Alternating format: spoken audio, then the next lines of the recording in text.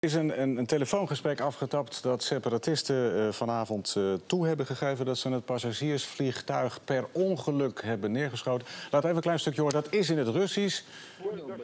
Бert Smeets, luister even mee, je spreekt Russisch. Сбили самолет, группа минера за Янакиева упал.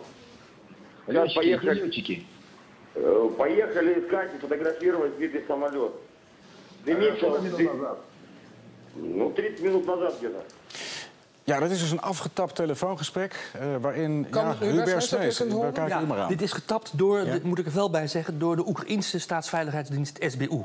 En wat zeggen ze? Eh, en eh, ze zeggen in het gesprek tussen twee landstormers, zoals ze heten, van de Volksrepubliek, dat er een passagiersvliegtuig is neergestort in de buurt van Torres, waar het inderdaad is gebeurd.